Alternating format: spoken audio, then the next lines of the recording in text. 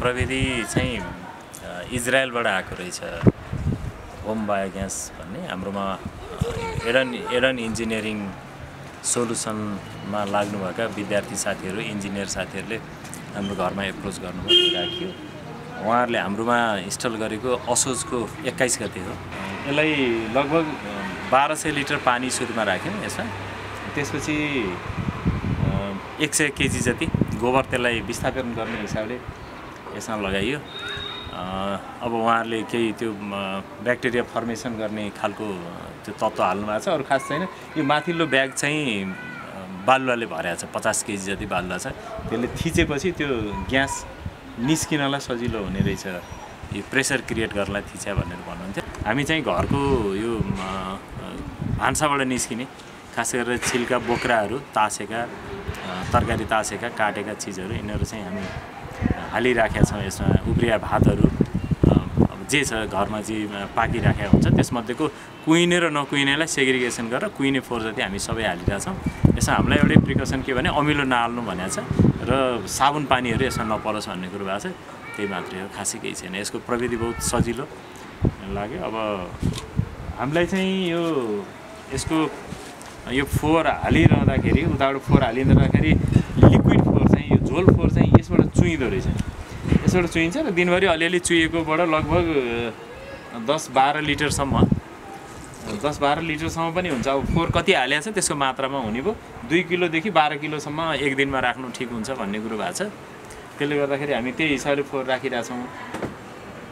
अब यसको चाहिँ बाह्र किलोसम्म राख्न सक्दाखेरि त बाह्र लिटर जति आउने भयो। अनि हामीलाई यो तरकारीलाई मल पनि अरू केही नचाहिने।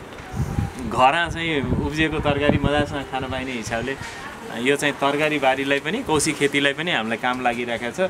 अब यो ग्यासको सिलिन्डरलाई अब विस्थापित गरिदियो यसले। यो हिसाबले पनि असाध्यै खुसी लागेको छ मलाई यो सबैले अप्नाइदियो भने काठमाडौँको फोहोर व्यवस्थापन गर्न काठमाडौँ लगायत राजधानी यस्ता खालका सहरी क्षेत्रहरूको फोहोर व्यवस्थापन गर्न चाहिँ यसले कामयाबी हुन्छ भन्ने मलाई लाग्छ। यो चाहिँ सबैले अप्नाउँदा राम्रो हुन्छ जस्तो लाग्छ मलाई। आफैलाई चाहिँ यो विदेशबाट ग्यासका सिलिन्डरहरू लिएर र अझ बन्द भएको बेलामा नेपाल बन्द भएको बेलामा सीमा बन्द भएको बेलामा त्यो त्यो ग्यासका सिलिन्डर पाउनलाई तछाड मछाड गरेर कुदिरह त्यो सम्झिँदाखेरि त घरमा अब ती ग्यासहरू सबै त्यसका चुल्हा ती ग्यासका सिलिन्डर त्यसका हेड रेगुलेटर सबै विस्थापन भएर यो अब आफ्नो घरबाट निस्किएको आफ्नै फोहोरबाट सृजित भएको यस्तो चाहिँ ग्यासले घरमा भान्सा चाहिँ भात पकाउनु पाउँदाखेरि त एउटा यो स्वावलम्बी अर्थतन्त्र भनेकै यही होला जस्तो लाग्यो मलाई त। यो तिन घन्टासम्म मजासँग बल्दो रहेछ। मैले त्यो हेरिसकेँ। अस्ति अस्ति पनि भाइ हिजो मात्रै हो हामीले नबनाएको। हिजो बेलुका चाहिँ तिन घन्टासम्म मजासँग बल्दो रहेछ।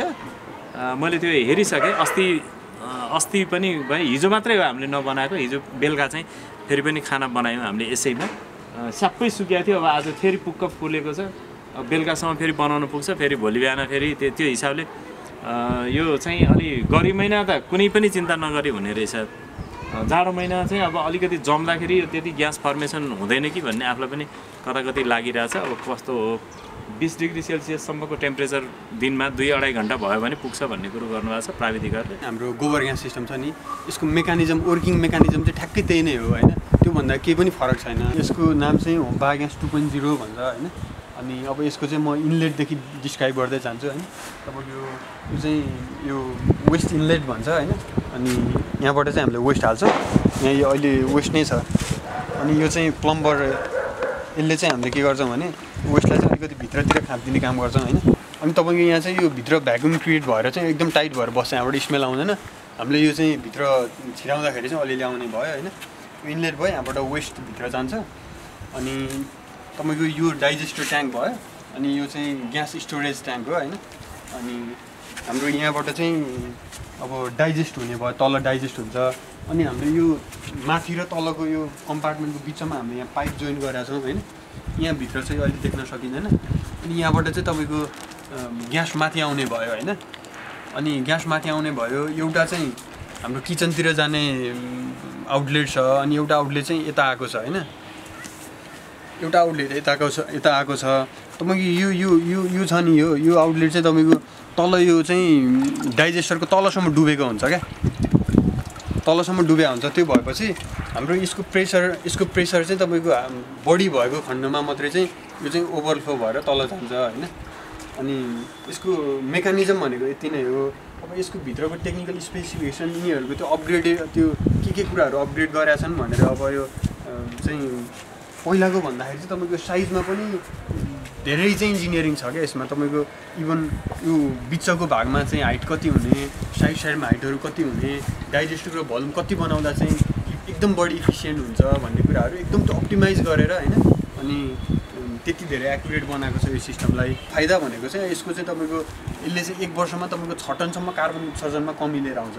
अनि एउटा प्लान्टले एक वर्षमा छ टन लिएर आउँछ भनेपछि हाम्रो यो यसलाई चाहिँ तपाईँको एडिबीले चाहिँ हामीलाई गभर्मेन्ट गभर्मेन्ट एडिबीले चाहिँ एटिपीले अनि तपाईँको अब अरू वर्ल्ड ब्याङ्कहरूले चाहिँ हामीलाई चाहिँ गभर्मेन्टलाई दिने फन्डिङ पनि फेरि भिन्नै हुन्छ त्यो हामीलाई दिँदैन। अर्को फाइदा चाहिँ के हुन्छ यसको भन्दाखेरि हामीले वेस्ट हालिसकेपछि चाहिँ वेस्ट हालिसकेपछि चाहिँ तपाईँको के हुन्छ भने तपाईँको यहाँबाट चाहिँ हाम्रो लिक्विड फर्टिलाइजर निस्किन्छ होइन?